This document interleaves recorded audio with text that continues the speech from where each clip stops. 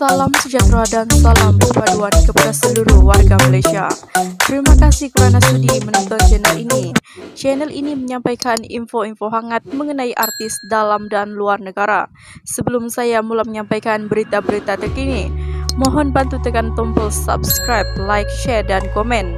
Jangan lupa juga aktifkan lonceng agar anda tidak ketinggalan berita-berita hangat terkini.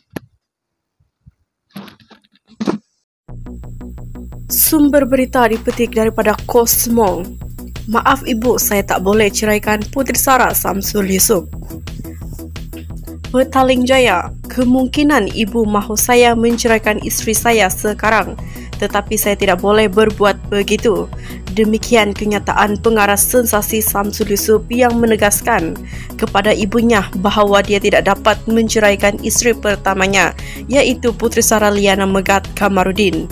Menurut pengarah dan penerbit itu, dia berasa sedih dengan apa yang berlaku namun tidak berkecil hati dengan tindakan ibunya yang menyebelahi isteri pertamanya. Meskipun perkahwinan keduanya bersama Ira Kazar tidak direstu oleh ibu bapanya, Samsul menganggap perkara tersebut sebagai ujian dalam hidupnya dan memohon maaf kepada ibunya Datin Fatima Ismail.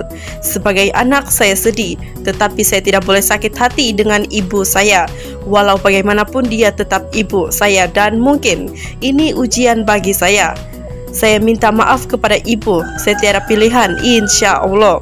Masa akan menentukan katanya pada sidang media khas siang tadi tambah pemilik nama lengkap Muhammad Samsul Muhammad Yusuf itu jika Islam menetapkan syarat berkahwin adalah memberitahu kepada ibu bapanya maka dia akan berbuat demikian namun dia lebih memikirkan soal dirinya dan Tuhan menyebabkan dia bertindak berkahwin dengan Ira Kazar pada Januari lalu.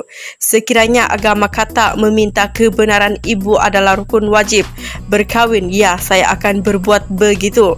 Namun saya memikirkan antara saya dan Tuhan apa yang patut saya buat jelasnya. Semalam Samsul Yusuf hadir ke Mahkamah Rendah Syariah Gombak Timur memfailkan nusyut kepada Putri Sara. Kemudian pagi tadi, Putri Sara pula tampil di Mahkamah Syariah Kuala Lumpur memfailkan hadana dan tidak memperincikan maklumat lebih lanjut. Sekian info hari ini. Terima kasih.